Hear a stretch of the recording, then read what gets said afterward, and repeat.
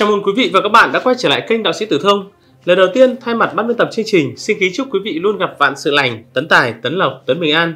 À quý vị thân mến, trong chương trình ngày hôm nay thì Tử Thông sẽ chia sẻ cùng quý vị và các bạn về cái giờ tốt để chúng ta tiến hành công việc thắp hương trong cái ngày rằm tháng 3 âm lịch năm 2024 năm Giáp Thìn. Vậy thì trong cái ngày rằm tháng 3 âm lịch chúng ta nên thắp hương vào giờ nào để được may mắn bình an thì xin mời quý vị và các bạn cùng theo dõi trong chương trình ngày hôm nay. À, thưa quý vị, uh, chúng ta biết vào mỗi cái ngày rằm ngày mùng 1 là cái ngày sóc về vọng. Nó là một cái ngày cực kỳ quan trọng. Và trong cái ngày này thì dân ta thường làm một cái nghi lễ gọi là khấn vái, thắp hương cho ông bà tổ tiên, thắp hương cho các vị thần linh cũng như là thắp hương ở đình đền miếu phủ chùa chiền với mong muốn là gửi cái lời nguyện cầu của mình đến các bậc thần linh và gia tiên cầu mong cho được gì cuộc sống được bình an may mắn và vạn sự hanh thông và cái thời điểm thắp hương nó cũng là một cái điều hết sức là quan trọng. Nó cũng góp thêm cái phần nào đó cái may mắn cái tài lộc cho quý vị. Nếu mà chọn được những cái giờ hoàng đạo để mà thắp hương ấy thì quý vị cũng dễ có được những cái may mắn tài lộc nhất định. Còn nếu mà phạm phải những giờ đại kỵ thì nó cũng gây ra những chuyện khó khăn chắc trở. Và trong chương trình ngày hôm nay thì Tử Thông sẽ chia sẻ cùng quý vị và các bạn về những cái giờ tốt thắp hương trong cái ngày rằm tháng 3 âm lịch bằng cách là sử dụng cái quyển sách ngày tốt toàn thư. À, thưa quý vị, thì để chọn ra giờ tốt trong ngày rằm tháng 3 âm lịch ngày đinh tỵ ấy, thì chúng ta sẽ mở trang 141 của cuốn sách ngày tốt toàn thư. Thì trong này nó có ghi là rõ các ngày giờ tốt để cho quý vị thực hiện mọi việc cho được thuận lợi và may mắn. Đó. Vậy thì trong cái ngày rằm tháng 3 âm lịch chúng ta sẽ có khung giờ nào tốt để chúng ta tiến hành công việc thắp hương? À, xin mời quý vị và các bạn cùng theo dõi trong chương trình ngày hôm nay. À, thưa quý vị, nói chung cái việc thắp hương lau dọn bàn thờ thì nó là một cái việc hết sức quan trọng. Vậy nên trước đó một hai vài ngày thì quý vị cũng có thể là gì? Kiểm tra lau dọn bàn thờ cho sạch sẽ và hành thông. Và để lau dọn bàn thờ sạch sẽ thì quý vị hãy sử dụng cái chai nước bao sái là nhất tâm hương nhé, nhất tâm hương. Để quý vị gì bao sái lau dọn bàn thờ à, cho cái không gian thờ cúng được thơm tho sạch sẽ giúp các cụ ngự được lâu hơn cầu gì được nấy bên cạnh đó thì cái khăn lau bàn thờ thì cũng quý vị cũng sẽ dùng cái khăn riêng nhé chuyên để lau bàn thờ chứ không dùng để khăn chung với các loại khăn lau bát đũa ở trong nhà hay là khăn lau bàn uống nước vân vân đấy quý vị sẽ dùng riêng đấy và trong cái chai nước ờ, bao sái ban thờ thì đều được tặng kèm một cái khăn lau ban thờ uh, chuyên dụng để gì? Uh, giúp cho quý vị có được cái sự chuyên nghiệp hơn và lau ban thờ được sạch sẽ thơm tho hơn. Đó. Quý vị liên hệ trực tiếp với số điện thoại 0989 34 9119 để thỉnh cái chai nước bao sái nhất tâm hương à, lau dọn bàn thờ cho không gian thờ cúng được thơm tho sạch sẽ à, giúp cho cái không gian thờ cúng nó trở nên linh ứng hơn và à, nó sẽ gì? Sạch sẽ và thơm tho hơn. Đó. À, thưa quý vị à, sau khi mà lau dọn bàn thờ sạch sẽ chuẩn bị đồ lễ gọn gàng thì chúng ta bắt đầu tiến hành công việc là thắp hương. Và cái khung giờ để thắp hương cũng là một cái điều hết sức quan trọng. Đấy. Thì đầu tiên để xét về cái cái, cái giờ tốt thắp hương ấy, thì quý vị hãy cùng tìm hiểu một chút về cái ngày cái ngày đinh tỵ này nhá. Thì cái ngày rằm tháng 3 âm lịch nó sẽ rơi vào ngày 23 tháng 4 dương lịch năm 2024 ngày này là ngày đinh tỵ này chúng ta có đinh hỏa tỵ hỏa này. Tức là gì? Can chi là tương đồng là một ngày cát nhật ngày đinh tỵ thì nạp âm là sa trung thổ. Ở kỵ tuổi tân hợi quý hợi. Ngày thuộc hành thổ thì khắc hành thủy đặc biệt là các tuổi là đinh mùi quý hợi.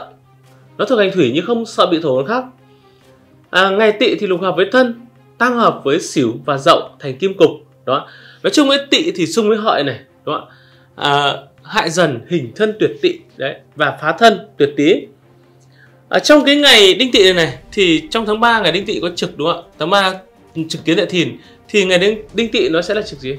Trực trừ đúng không ạ? Trực trừ. À, trong ngày hôm nay thì có sao chủy. Sao chủy là một cái bộ sao hung trong bộ nhị tập bát tú ấy. Ngày rằm tháng 3 này nó là ngày 23 tháng 4 23 tháng 4 tức là nó sẽ khởi cái tiết khí nhá. Cái tiết khí của cái ngày rằm tháng 3 nó sẽ là tiết cốc vũ chứ không phải là tiết thanh minh nữa. À, trong ngày hôm nay thì để xét về cái giờ tốt thắp hương thì chúng ta cũng phải xét qua một chút về cát thần và hung thần. Khi mà biết cát thần hung thần ấy thì chúng ta mới gì chọn được ra những giờ chuẩn nhất đúng không ạ? À, cát thần trong ngày hôm nay thì có các sao như sau này. Có cát kỳ kim đường minh đường có nguyệt tài nguyệt đức hợp ngũ phú thiên phúc à, thiên đức hợp thần tại tướng nhật tứ tướng âm đức đại thâu đó. À, hung thần trong ngày hôm nay thì có chuyên nhật có cô thần à, có cửu khổ bất cùng có cửu thổ quỷ, có hoang vu, có hỏa tinh, có kiếp sát, có ngũ hư, có nhân cách, có nhật lưu tài, có thiên binh, có trùng nhật, có xích tùng tử đó đó là về cái cát hung trong ngày hôm nay Và bây giờ chúng ta sẽ cùng vào xét xem là trong ngày hôm nay, ngày rằm tháng 3 âm lịch, thì chúng ta sẽ nên thắp hương vào giờ nào tốt và giờ nào tốt nhất để chúng ta thắp hương mà cầu gì được đấy. Và xin mời quý vị cùng theo dõi.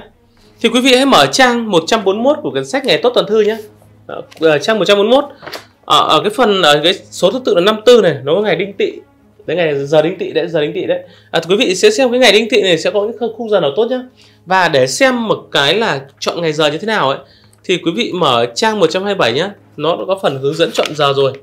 Hướng dẫn hướng dẫn chọn giờ rồi nên quý vị hoàn toàn yên tâm khi sử dụng. À, quý vị có thể liên hệ trực tiếp với số điện thoại 0989 34 9119 để thỉnh cái quyển sách ngày tốt toàn thư tự xem ngày lành tháng tốt cho mình mà không bị phụ thuộc vào bất cứ ai nhé. À, ngay sau đây chúng ta sẽ cùng tìm ra những cái giờ tốt để thắp hương này. À, thưa quý vị giờ đầu tiên chúng ta xét đó là giờ tí giờ tí thì trong cái ngày đinh tỵ ngày rằm đấy thì nó sẽ là giờ canh tí giờ canh tí nó là giờ xấu vì có tuần không và có bạch hổ. À, thêm nữa à, nói chung ấy cái giờ tí nó còn có hỏa tinh có địa binh có tham lang nữa. Đâm ra là cái giờ tí là giờ xấu nhưng mà quý vị không nên dùng.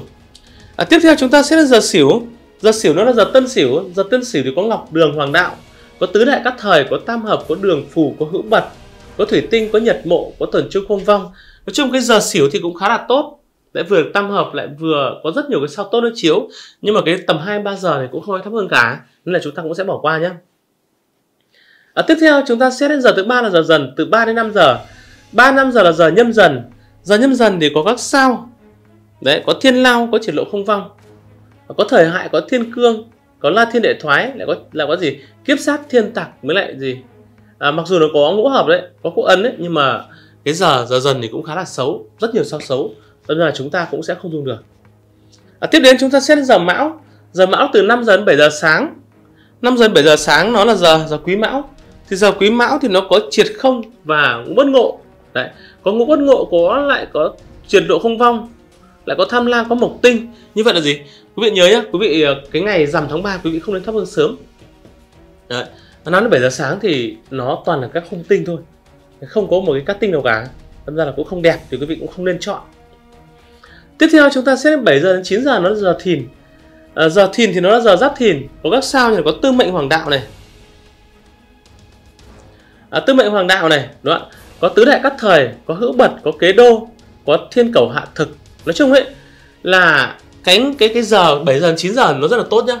Như vậy chúng ta có giờ tốt đầu tiên là 7 giờ này đến 9 giờ này là giờ giờ thìn đúng không ạ? Giờ thìn từ 7 giờ đến 9 giờ.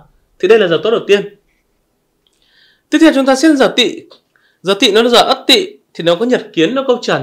Hơn nữa giờ ất tỵ trong ngày hôm nay thì có gì? À, có đế vượng có thời kiến có tả phụ. Đúng không? như vậy là gì? Nói chung ấy thì cũng có khá nhiều cái hung tinh ở trong cái giờ này nên chúng ta cũng không chọn nhé à, tiếp đến chúng ta chọn đến 11 đến 13 giờ nó là giờ bính ngọ giờ bính ngọ đúng không ạ? Thì giờ trong giờ bính ngọ thì nó có thanh long hoàng đạo đấy. Có gì? Có có có, có hỷ thần có ngũ phủ có nhật lộc có la hầu có thiên binh. Nó tóm lại là trong cái khung 11 giờ đến 13 giờ ấy, thì nó là một cái cái cái cái cái giờ cũng khá là tốt. Nó là giờ tốt thứ hai. Đó từ 11 đến 13 giờ. Đó là giờ tốt thứ hai. Giờ tiếp theo chúng ta xét đó là giờ đinh mùi. Giờ đinh mùi ấy, thì là từ 13 giờ đến 15 giờ. Thì trong giờ mùi có gì? Có minh đường hoàng đạo, có tứ đại các thời, có thiên xá, có vũ khúc, có kim tinh, có tỷ kiên. Như vậy là gì? Cái giờ mùi trong ngày hôm nay này cũng khá là tốt. Từ 13 đến 15 giờ. 15 giờ. Đó. Giờ ờ, giờ thìn này, giờ ngọ giờ mùi, ba giờ này cực tốt Tiếp đến thì chúng ta sẽ giờ thân nhé. Giờ thân thì từ 15 giờ đến 17 giờ nó là giờ mậu thân. Giờ mậu thân này có thiên hình hắc đạo, đấy, có thời hình, có hà khôi, có lục mậu, có lôi binh, có thái dương, lục hợp, minh tinh. Nhưng mà nói tóm lại là giờ thân khá là xấu chúng ta không dùng nhé. Tiếp đến chúng ta sẽ giờ dậu. Giờ dậu là từ 17 giờ đến 19 giờ. 17 19 giờ thì nó có các sao như là có chu tước đấy, có quả tú này, có hỏa tinh này, có cổ mộ sát này, có cửu xú, có thiên ất quý nhân, có phúc tinh quý nhân, có quý đăng thiên môn, có tam hợp, có trường sinh, có la thiên đại tiến. Nói chung là cái khung giờ này cũng khá là tốt, giờ rộng khá là tốt. Nhưng mà chúng ta không dùng vì là sao? Nó cũng cũng cũng thực dạng hơi muộn nhá. Nếu mà quý vị có việc gấp cần dùng thì quý vị có thể dùng giờ dậu được. Tức là từ 17 đến 19 giờ. Nó cũng có rất nhiều sao tốt. Tiếp theo chúng ta sẽ giờ tốt từ 19 đến 21 giờ. 19 đến 21 giờ nó là giờ, nó là giờ canh tuất. Giờ canh tuất thì nó có kim quỹ. Đấy, có tứ đại cát thời, có thủy tinh, có ngũ quỷ, có địa binh. Nó cũng là một khung giờ tốt nhưng mà chúng ta cũng không thắp hương vào giờ này. À, cuối cùng là giờ hợi. Từ 21 giờ đến 23 giờ. Nó là giờ tân hợi. Giờ tân hợi thì có thiên đức. Đấy. À, có thiên ất quý nhân. Có thiên quan quý nhân. Có quý đăng thiên môn. Có thái âm. Có dịch mã. Có ngũ quỷ. Có thời phá. Nói chung là trong cái giờ hợi ấy, thì chúng ta có tị hợi xung. Nên ra là cũng ít người dùng cái cái giờ này. Hầu như là cũng không dùng một việc gì. Đó. À, như vậy là Tử Thông đã vừa chia sẻ cùng quý vị và các bạn về những cái không giờ tốt để chúng ta tiến hành công việc thắp hương trong cái ngày rằm tháng 3 âm lịch năm 2024 năm Giáp Thìn. Ở trong cái ngày rằm tháng 3 thì chúng ta có 3 khung giờ cực tốt để mà thắp hương. Đó là những giờ sau. Một là 7 giờ đến 9 giờ thì nó là giờ Thìn.